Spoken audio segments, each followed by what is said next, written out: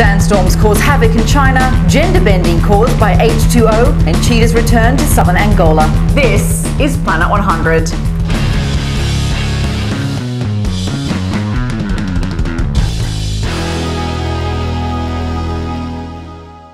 Welcome to Planet 100, the top environmental news stories of the day in 100 seconds or less. I'm Sarah Backhouse and it's Wednesday, March 24th. China finally breathed some fresh air yesterday after a massive sandstorm engulfed the cities in northern China in a yellow haze of sand and grit. The storms are a direct result of desertification caused by overgrazing, deforestation, urban sprawl, and drought, which have expanded deserts in the country's north and west. The shifting sands have encroached onto populated areas, increasing the intensity of sandstorms that strike cities. China's Central Meteorological Agency said no further storms were expected in the country. Good news for neighbouring South Korea, Taiwan, and Hong Kong. A new study by UNESP Science reveals that chemicals found in our water supply have the ability to bend the gender of marine animals. According to the journal, endocrine disruptors are to blame for the increased incidence of reproductive abnormalities in various species around the world. One dramatic study of 25 Brazilian estuaries revealed that 8% of hermit crabs possess both male and female reproductive organs. The culprit, TBT, a chemical found in paint used on boats. Researchers fear that endocrine disruptors may have affected hormones in humans as well,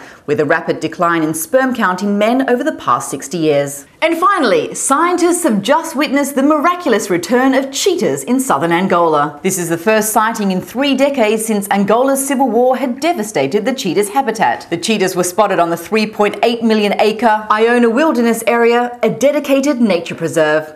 And that's our show for today. See you tomorrow for more Planet 100 news.